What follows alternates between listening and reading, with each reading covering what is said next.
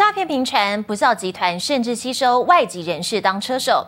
高雄警方日前获报，有被害妇人误信投资群组，决定用假钞吸引对方出面，趁面交的时候埋伏，将马来西亚籍的车手逮捕。另外，在台南也有诈骗集团冒充成被害人的侄子借钱，车手同样现身取款的时候被逮，一查也是外籍人士，拿着观光签证入境。公园内，警方一拥而上，火速压制嫌犯。你来干嘛嘛？他们只是说来见顾客。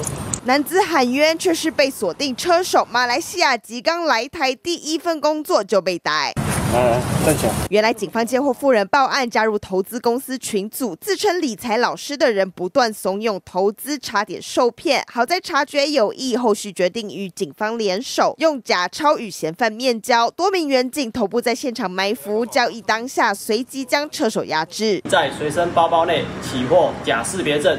凭证、收据、印章等诈骗工具。嫌犯来台工作却涉及不法。另外，在台南同样也抓到外籍诈骗车手。哪一国的？被警方压制在地，动弹不得。坐着不准抢。一查，嫌犯也是马来西亚籍，拿的是观光签证入境台湾。这次诈骗集团是冒充被害人侄子打电话借款，陆续汇了一百多万元。诈骗集团食髓知味，不断索讨，被害人也察觉不对劲。全案依诈欺罪嫌移送台南地检署。侦办，并持续向上溯源，查缉不法犯罪集团。两起案件，诈骗集团都吸收外籍车手，是否有涉及其他诈欺案件？警方也将继续追缉，要揪出诈骗集团幕后成员。记者综合报道。